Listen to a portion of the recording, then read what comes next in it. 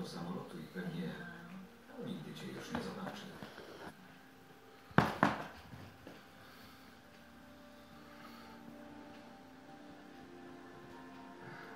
Wiesz,